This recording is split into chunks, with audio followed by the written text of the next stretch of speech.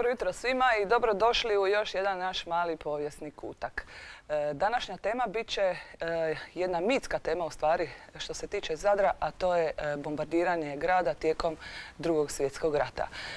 Zato smo goste pozvali gospodina Juricu Vučetića, diplomiranog pravnika, međutim jednog strastvenog amaterskog istraživača povijesti. Gospodine Jurica, dobro vam jutro. Dobro jutro. E, ajmo mi sad početi od samih početaka.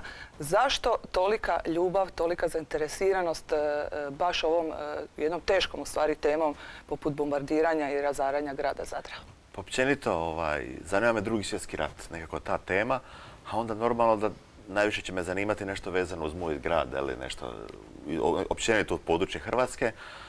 I nekako malo to, malo sjećam se nekakvih fotografija u osnovnoj školi, koje smo gledali, vjerojatno neka izložba bila ili nešto, pa priče ovaj, bake koja je to doživjela ta bombardiranja i eto, stvoriti se nekako želje za daljnjim istraživanjem i ona sad naletio prije nekih desetak, 15 godina na knjigu od e, profesora Pribilovića koja u stvari dala jedan odličan onako presjek, odnosno kostur e, svog tog istraživanja i krenuo sam na nadograđivanje te, te teme. Evo da mi započnemo u stvari od samih početaka i da malo razbistrimo e, tu u stvari taj dio povijesti. Sadar je do, kapitulacije Italije, odnosno rujna 1943. gotovo živio kao da rata nema. Pa da, u stvari bilo je nešto u travnju 1941. E, dakle, bile to jedno bombardiranje 9. travnja 1941. kad su tri e, laka bombardera od Kraljevine Jugoslavije su bombardirale grad. Nažalost i onda je bilo civilnih žrtava, dvije žene su poginule gdje su sad kaze populare i nešto je stradao polotok, ali ne, toliko puno. E, I pogođeno je skladište streljiva na Vruljici, blizu dječjeg vrtića tamo što je. I bilo je nekakvih dva, tri dana su te borbe trajale oko grada. Znamo kako je završio taj travanjski rat, i praktički bilo je mirno. Nije bilo ovaj, više na području Zadrane i okolice nikakvih borbi. Jedino oni ljudi čiji su sinovi bili u Abesini u, ili u Sjevernoj Africi, oni su osjećali taj rat i možda je bila nestašica nekakvih proizvoda, ali do kapitulacije Italije ništa specijalno se nije ovaj, događalo na, ovom tu području. Da, moramo znati da je Zadar u stvari onda bio teritorijalno pod Italijom od Rapanskog ugovora do same kapitulacije. Tako je. U stvari bio on i kasnije bio. Je, do 47. administrativno. I onda se sve promijenilo kapitulacijom Italije. 10. rujna ovaj, 43. u grad ulaze Njemci, zauzimaju ga E, i to im je odmah postala luko strateškog značenja, zato što su stvari jedina opskrba njemačke vojske u Dalmaciji se mogla vršiti morem, dakle iz Pule, Rijeke i Trsta, brodovima, jer u to vrijeme je postajala samo cesta preko Velebita, ona majstorska, i postala je željeznička pruga preko ovaj Mostar Metković, mislim. Drugi put nije, nije bio. I sad možete zamisliti e, sav taj promet preko te dvije ceste, da postajala je cesta Bihać-Knin, sve je trebalo ići tuda, a jednostavno ovaj, Njemci niti su imali dovoljno kamiona, niti su dovoljno imali vojske koja bi mogla čuvati te prometnice. E, Pakao u Zadru u stvari započinja od studenog 1943. Evo malo prije smo u razgovoru e, zaključili da je šteta možda što nismo baš na onaj drugi studeni kad je bio e, jedan od najtragičnijih, najtragičnijih napada. Što se dogodilo toga dana? Tog dana, ovaj, drugi studenog 1943. u večernjim satima dogodio, se prvi saveznički napad na Zadar, iako on nije bio toliko jak. Samo sedam, ovaj, sedam lakih bombardera je sudjelovalo u tom napadu. E, njihov cilj je bila dakle luka i bili su e, hidrozrakoplovi koji su bili vezani gdje je sada na Branimiru benzinska. E, međutim, brodova tad u luci nije bilo toliki broj, niti su bili hidrozrakoplovi, bio je noćni napad, oni jesu osvijetlili cilj, međutim, moramo znati da je preciznost tek pri kraju rata bila 500 metara lijevo, 500 metara desno. Dakle, to je bilo jako teško pogoditi. Možete misliti sa visine 2,5, 3, 3,5 km nešto pogoditi s bombama. I onda su oni koristili takozvani e, sustav tepiha. Odnosno, počeli su izbacivati bombe i 200-300 metara prije cilja, pa ako jedna pogodi, pogodi. Najgore u tom napadu što se dogodilo, što su dvije bombe koje su bile namijenjene e, stajanci hidrozrakoplova, su pogodili jedno ovaj, protu protuzračno sklonište mhm. e, na Voštarnici. To vam je sad tamo blizu male pošte gdje se nalazi trafostanica. I nažalost u tom skloništu je poginulo 156 ljudi. Koji su, mislim da su gotovo svi bili civili i jako puno djece, tako da su kompletne obitelji sa voštarnice su u stvari nestale. E, bila je jedna e, stravična priča, to je bilo isto, nisam sigurna točno, vi ćete znati sigurno, bilo je bombardiranje, to je bila nedjelja, misa nakon Svetoga Šime, park Jarula prepun, prepun djece, to je definitivno bio jedan veliki, veliki masakr, velika tragedija, ono što je možda obilježilo grad definitivno u tom vremenu. Da, to je bio drugi napad, 28.11. To su izveli američki srednji bombarderi, B-25 i to ona poznata postrojba koja je 1942. godine bombardirala Tokio. Onaj e, pukovnik Doolittle je bio zapovjednik te e, postrojbe. Oni su isto gađali brodove u Luci, tad su i pogodili te brodove koji su bili u Luci. Međutim, dio bombi je pao i na, područje stambenog naselja u gradu i upravo gdje je park Jarula, tu je bio nekakav kao nekakav luna park, nekakav nešto je bilo. I jedan ringišpir je pogođen gdje je bilo puno djece i bilo jako puno mrtvih. Nakon tog napada više u sljedećim napadima nije bilo puno civilnih žrtava, zato su se u stvari ljudi iselili iz, iz grada, odnosno kako sad kažu poluotoka. E, ili su otišli, ko je bio bogatiji, otišao u neke bogate talijanske gradove, dio otišao u Trst, a dio, ovi koji su imali hrvatske korijene su otišli kod obitelji u, na Bokanjac, u Modiklo, Kožino ili već neka druga okolna sela. E, dakle, studeni 1943. u Zadru e, definitivno e, je ušao u anale povijesti grada Zadra. Postoje različite teorije, različiti brojevi, koliko je bilo bombardiranja, koliko je bombi bačeno. Možemo li uopće sa sigurnošću reći koliko je toga bilo? Može se. Može se reći sa sigurnošću zato što postoje dokumenti. Dakle, niti jedan napad nije bio nekakav tajni napad. Za svaki napad postoje e, dan, dva ranije napada postoji e, izvješća od izviđačkih zrakoplova koji su dakle izviđali područje Zadarske luke i Zadra. Postoji zapovjed za bombardiranje. Točno postoji koliko bombi u koji zrakoplov krcano. E, svaki zrakoplov odnosno njegov zapovjednik ima svoje izvješće i postoji izvješće postrojbe. I nakon bombardiranja postoji opet iz, izvješće izviđačkog zrakoplova koji kazuje o šteti koja se, dogodila. Ja imam niz fotografija na kojima se može jako dobro vidjeti u stvari koje bombe, kolika količina bombi pogađa kopno, a kolika količina bombi u stvari pogađa u more. Dakle, točna se količina u stvari može znati. E, negdje sam e, pročitala podatak e, kako je grad bio razoran više nego što je trebao biti i to zbog neiskustva britanskih pilota koji su mahom bili mladi jer više nije bilo ljudstva dovoljno koje bi se regrutiralo u vojsku. Mm, to je uopće nije istina. Ovaj, oni su bili tekako iskusni jer su do sad sudjelovali u bitkama u Italiji, u Sjevernoj Africi, a naročito sam spomenuo američki pilote koji su dakle već imali iskustva i na Pacifiku i sve to problem je znači ta visina i nepreciznost. U to vrijeme nije to danas imate navođenu raketu, možete pogoditi prozor na udaljenosti od 1000 km. Onda je to bilo, dakle... Njima je sve u 500 metara da bilo pogodak. Di pade, pade. Mm. Znači, to je to bilo. I to je, to je najveći stvari problem. A zašto visina 3, 3,5 tisuće metara? Zato što je njemaška protuzračna obrana koja je bila u Zadru, ako je inače bila jako slaba, eh, je u stvari imala toliki domet i oni su točno znali do kud im prijeti opasnost od njemačkog napada. E, Njemci su bili vrlo oprezni što se tiče tih bombardiranja, vrlo su pazili na svoju vojsku tako da su bili pokriveni, uglavnom su se sklanjali kad bi bila bombardiranja za civilno stanovništvo ih nije bilo toliko briga. Pa nije baš ni to opet istina, mhm. ovaj, e, imali su jako velike žrtve recimo u tom napadu 28. studenog imali su, ja mislim, 30-40 vojnika i nije poginulo na, brodovima. Aktivno su sudjelovali u spašavanju civila koji su bili pod, pod rušavinama. Po meni mislim da je podjednako su se sakrivali i civili i, i vojnici di su stigli zajednički čak su ulazili u civilna, civilna skloništa i mislim da tu nije bilo nekakve ovaj, velike razlike. To je bila borba za goli život i jednih i drugih, definitivno nije bilo puno izbora.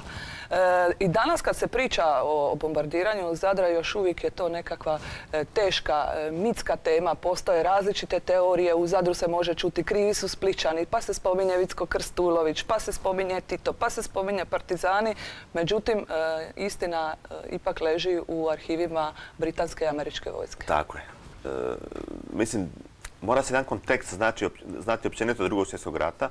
E, zapadni saveznici nisu baš imali neke velika ovaj, e, gajili neku ljubav prema Titu i prema partizanima, zato su oni bili komunisti. I oni su jednostavno, pogotovo Churchill, odnosno Britanci, su organski mrzili ovaj, Teško da bi oni uzeli u obzir bilo što što bi im oni rekli, jel Tako je, I da su mogli utjecati svojim mišljenjem na Oni njih. su njih u stvari koristili. Oni su njima bili od- jedna korist koja je držala i desetak njemačkih divizija na području bivše Jugoslavije, pa eto, pomagali su im nekakvom naružanju, ali nije to bilo u, u, u, u tolikoj mjeri e, koliko se priča. Jedna E, mini simbioza u stvari. Uzmi nešto što ti treba i daj ono što drugo ne treba. I e, povremeno su Tito i partizani su dakle tražili e, da im se pomogne zračnim napadima. Međutim, to je bilo isključivo u zračnim napadima u koje je ta, tadašnja ta partizanska vojska vodila nekakve kopnene borbe e, sa, sa Njemcima. E, to je recimo bilo u prilikom napada na Tkon. Oni su tražili pomoć bombardera, međutim u pomoć su im došla svega dva lovca koji su imali dakle, po, svaki po dvije bombe, dakle četiri bombe i to je sve bilo od, od bombardiranja. Međutim, i u tom bombardiranju e, stradali su nedužni ci- civili koji su na mulu u Tkonu čekali da ih se preveze s gajetama e, na područje Beograda gdje su imali zemlju koju su obrađivali. Međutim, ti, ti lovci, bombarderi su bili, e, u njima su bili piloti koji su bili iz područja bivše Jugoslavije, odnosno iz vojske Kraljevine Jugoslavije. Znači, definitivno to možda treba demisti- demistificirati na- nakon gotovo... Svakako. Što 80 godina još uvijek živete neke čudnovate priče. Pa to su priče koje su e, od, potekle od Taljana, od optanata. Zato što e, Talja- Italija je izašla kao gubitnik iz rata, e, izgubila je sve ono što je masno platila u Prvom svjetskom ratu sa milijunima e, žrtava, što su im priznali londonskim ugovorom i jednostavno u tom, ajde recimo nekakvom bijesu, oni su svakakve su teorije, priče su se razvijale, pa namjerno ovo, namjerno ono, međutim, tu nikakva nije bila namjera. Čak Zadar, Zadar je najmanje bombardiran od svih gradova na, Jadranu. Puno E. više je bombardiran i Šibenik i Split. I, Eto, zaboravlja se da su u stvari i ostali hrvatski gradovi. Kažu da je Slavonski brod Najviše. strašno stradao. Ali Makarska, upravo, Omiš, upravo Zadar, Slavonski Šibenik. brod zato što je bio e, važno željezničko čvorište. Mhm. I tu je bila i, ovaj, i rafinerija nafte i skladišta. I upravo zbog toga e, znalo se dogoditi da, da je Slavonski brod u jednom danu dobio toliku količinu bombi koliko je Zadar u cijelom ratu. To se, je li se to u Slavonskom brodu e, spominje isto kao i u Zadru? Znate li? Ne mogu točno reći, ni- nisam s nikim priča, ali čisto, čisto, čisto sumnjam. Mhm. Ali recimo najbolji je primjer bombardiranja Ražanca. Znači Ražanac je napadnut jedan put sa teškim, u svibnju 44. mislim 17. svibnja, sa američkim teškim bombarderima. Gotovo cijelo mjesto je srušeno e, i bilo je jako puno civilnih žrtava. Zašto? Zato što je u njemu bila luka. Jer kad su Njemci vidjeli da ih e, saveznici snimaju iz zraka, da ih vide brodovi u Zadar- Zadarskoj luci i pogotovo kad su se pojavili ovaj, britanski torpedni čamci u, u moru između Vira i Molata, onda su Njemci prebacili rutu ispod Velebita. Dakle, onda su brodovi plovili između Rijeke i Ražanca. Međutim, vrlo brzo su saveznički zrakoplovi vidjeli da se nešto u Ražancu događa, pa tako da su i njega bombardirali. Dakle, to je najbolji dokaz u stvari da je bilo čisto se gađalo se vojni ciljevi, odnosno brodovi i infrastruktura. E, može to e, govori onaj nekakav zadarski animozitet prema Splitu, ali često su se ono, otrovne strelice slale prema Vicku Krstuloviću. E, Njegovo ime nekako uvijek odjekuje kad se razgovara o bombardiranju Zadra, iako najvjerojatnije to nema veze sa onim što je zaista bilo. I nemojmo zaboraviti da je Split bombardiran. Da. Recimo, vjerojatno njegovo ime nema veze sa bombardiranjem Zadra, međutim, možda ima s onim što se događalo nakon Mhm. ovaj, oslobođenja Zadra, u stvari kad je Zadar stihijski u navodnik obnavljan, u stvari rušilo istovremeno se i bez reda. pljačkan, jel? Tako je, tako je da su se recimo nekakvi bolji komadi namještaja i te stvari su odvozili u Split za tadašnju vladu koja je bila Mhm. e, Možda su se onda automatizmom njemu prepisale sve ove ostale negativne sve to, stvari. mo- sve je to moguće, kažem, međutim, e, kad se bavim ovom temom i kad nešto pišem o tome, onda čisto se bavim dok, do- isključivo dokumentima. Mhm. Što nemam u dokumentima, to jednostavno e, samo čujem, ali ne pridajem neku važnost tome. E, toliko ste duboko ušli u tu temu da ste duboko ušli i u britanske i američke arhive. E, što ste sve tamo pronašli i kako je u stvari bilo komunicirati sa ljudima iz tih arhiva? Pa preko nekakvih foruma sam prvo naišao na te britanske dokumente. E, Britanci to imaju jako dobro posloženo. To je njihov taj, valjda, nacionalni državni arhiv. Svi dokumenti su lijepo posloženi i većina tog, tih dokumenta je skenirana. I točno ono što vam treba, oni će vam poslati, komunicira se normalno s računalom, eli, naruči se. Međutim, e, plaća se. Znači sve ono što se naruči se mora platiti. Sad znamo koliko je funta jača od kune, tako da ne ispade to baš ovaj jeftino. Jeftino, da. imaju, međutim, imaju dosta stvari koje još nisu skenirane. To morate, morate naručiti da se ručno kopira, to malo dođe skuplje. Postoje arhivi u Americi. Njihovi arhivi su isto dostupni, međutim na jedan drugačiji način gdje vi komunicirate s njihovim djelatnikom. I to su stvari arhivi njihovih vojnih zračnih baza. To je recimo baza Maxwell, gdje se nalazi najveća količina tih dokumenata. Njihovi djelatnici su užasno uljudni. To je, dakle, sve će vam pomoći, skenirat će vam sve što vam treba, fotografije, sve što... I ne plaća se ništa. Međutim, to nije posloženo. I sad vama, recimo, treba jedan napad, te neke postrojbe američke i oni vam, oni vam pošalju cijeli dnevnik. A taj dnevnik ima 5-6 tisuća stranica.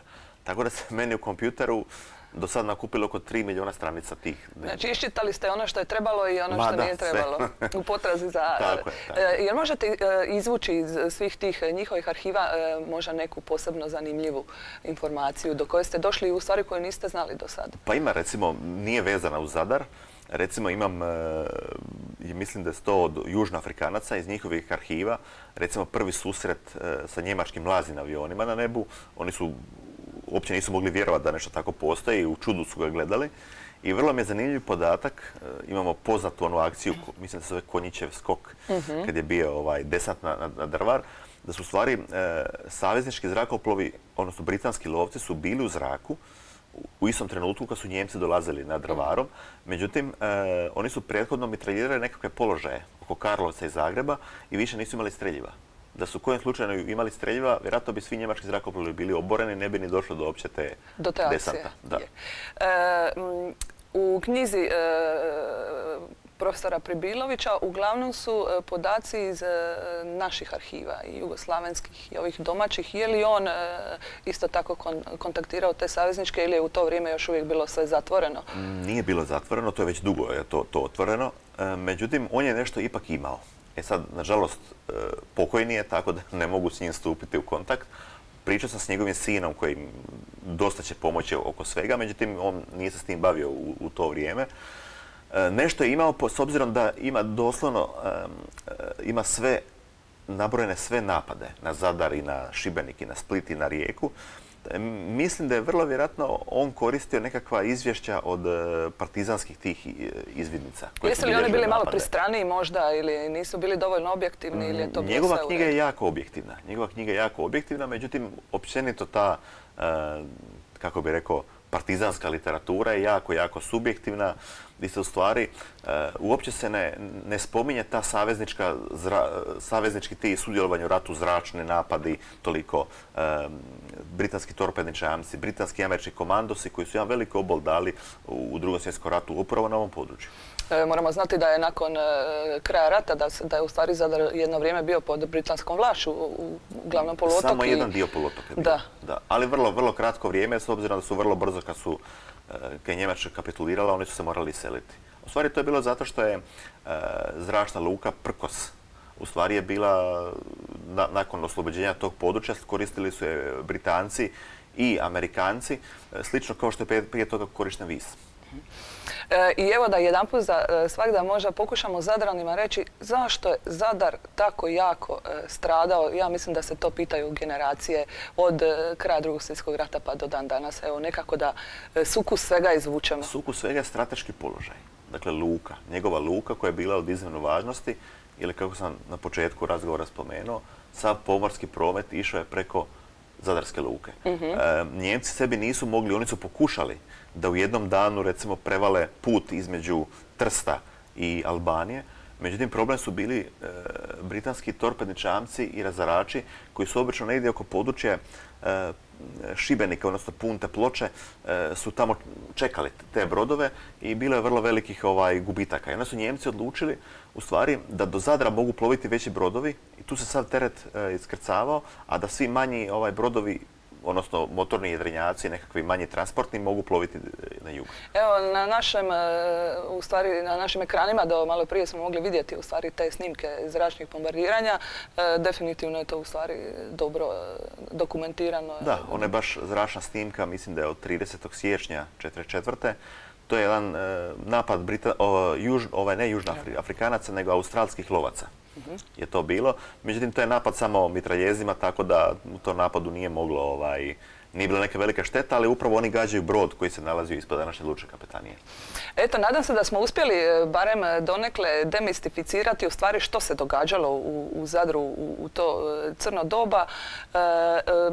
je li još uvijek radite na toj materiji? Pretpostavljam da je to jedna beskonačna tema. Da, to je, još fali mi neka, neka dokumentacija. U planu izdavanje jedne velike knjige ovaj, o tome. Jedan kostur knjige je napisan, međutim, eto, zbog nekakvih okolnosti, nemam sad vremena toliko se tome posvetiti, ali svakako će biti e, jedna stručna obrada toga, gdje će se napokon, nadam se, ovaj, doći do demistifikacije svega toga. E, jeste li razgovarali o ovom temu možda i s nekakvim e, povjesničarima koji su isto tako dovoljno duboko zaronili e, u tu temu, možda razmijenili neka mišljenja, neke dubioze, eventualno razbistrili?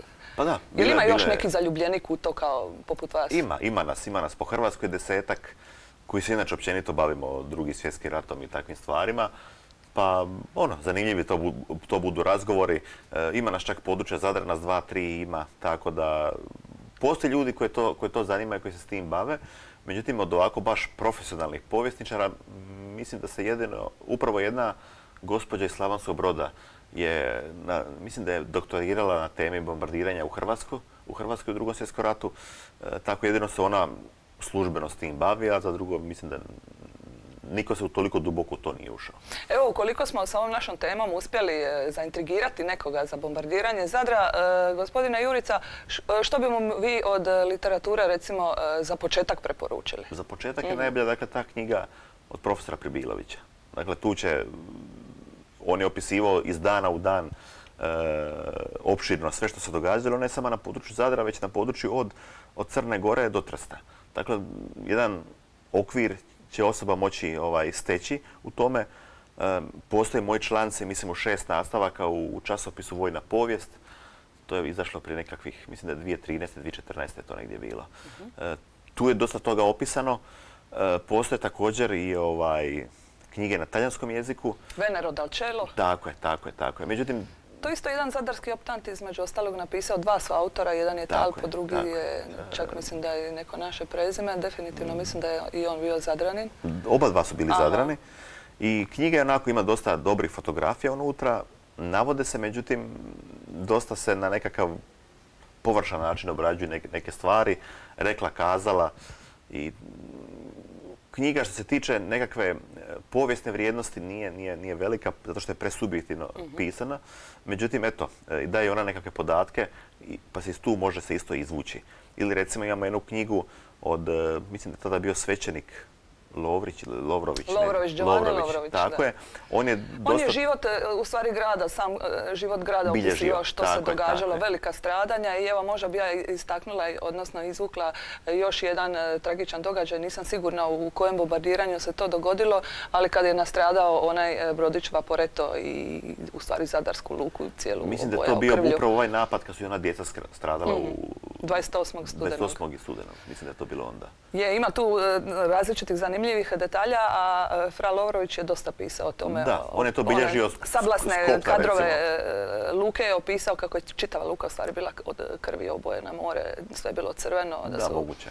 komadi tijela plutali, uglavnom to je bilo e, baš teško i začitati i dan danas. Da. Tako nekakva kombinacija možda povijesti, politike i ovog nekakvog gradskog života kod Giovannija Lovrovića, to bi bilo dovoljno za početak, pa onda, Svakako. onda prema arhivima. Da.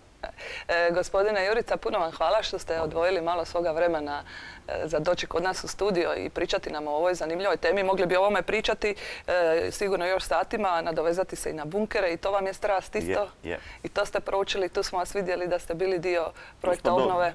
Dobar smo napravili projekt, ono, ja sam bio vanjski suradnik, međutim tu su dakle, ajde recimo glavni bili grad Zadar i sveučilište u Zadru, gdje se krenulo prema tim fondovima Europske unije i eto, nadam se da će to saživiti i jedan biti novi turistički proizvod u našem gradu.